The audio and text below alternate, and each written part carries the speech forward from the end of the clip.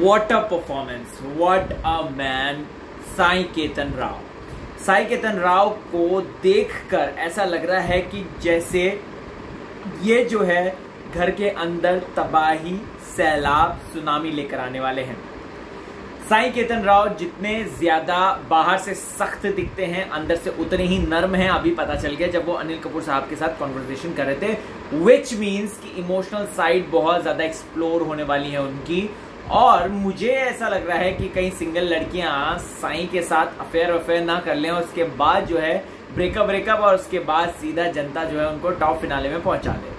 साई की अगर बात करें दोस्तों तो साई केतन राउंड अगेन काफ़ी ज़्यादा कॉन्फिडेंट है, बातें बना लेते हैं, लेकिन अगेन मैं यही, मुझे ऐसा लगता है कि कटारिया के साथ इसकी नहीं जमेगी, साई केतन की, और कटारिया के साथ कुछ ना कुछ झगड़ा होगा ही होगा। इसके अपार्ट फ्रॉम दैट मुझे सना मकबूल के साथ इनकी दोस्ती इनका ना एक ग्रुप बनते हुए नज़र आ रहा है, जो एलिट क्लास वाले जो हैं सो कॉल्ड जिसमें साई केतन हो सकते हैं और उसमें रणवीर शौर्य होंगे, उसमें आपकी सना मकबूल है, उसमें चंद्रिका नज़र आएगी। सो देखना इंटरेस्टिंग रहेगा। आपको क्या कहना है? कमेंट करके ज़रूर बताएँ।